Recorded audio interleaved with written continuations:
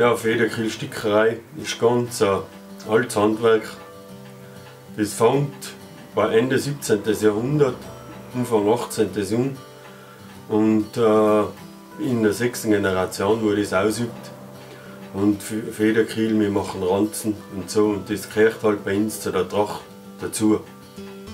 Das wird eigentlich der Familie weitergehen, das man nicht nachlegen, das ist, da gibt es keinen Lehrberuf und das wird halt Dinos von meinem Vater gelernt und wie gesagt, ich bin in der sechsten Generation, wo das ausführt und ich weiß nicht, ob es die Kinder weiter tun, bis dahin, die haben noch ein Bäusel, das sind noch junge, junge Burschen und ein junges Dirndl und werden wir schon sehen, ob sie so weiter tun.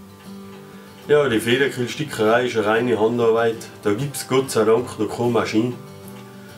Und äh, da muss man Federn schneiden, alles mit der Hand. Das ist die meiste Arbeit und die wird auch nicht weitergezogen. Die Federnschneiderei, das bleibt aber der Familie, wie der das schneidet. Und nachher wird gezeichnet, das wird alles mit der Hand gezeichnet. Und nachher wird halt gestickt und da gibt es keine Maschine. Und Gott sei Dank ist das so. Und da wird es auch mit dem Federkiel wird es auch nie eine Maschine geben. Die Kundschaft die kommt schon mit einem Gedanken, was sie wollen.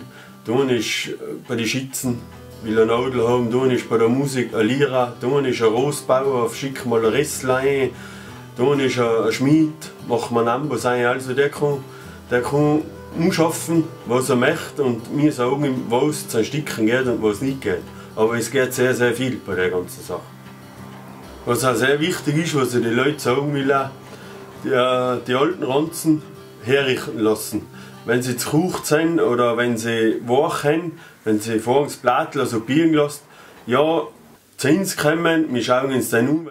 Und wie man bei sieht, ist da schon ein Loch innen, da ist es oft schon schwierig. Dann man herzig, und bei geht es mir leichter.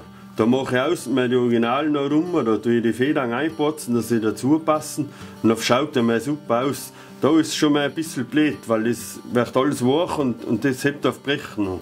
Und deswegen sage ich, kommt zu ihr und wir schauen uns das an, weil der hebt auf mir 100 oder der passt mir.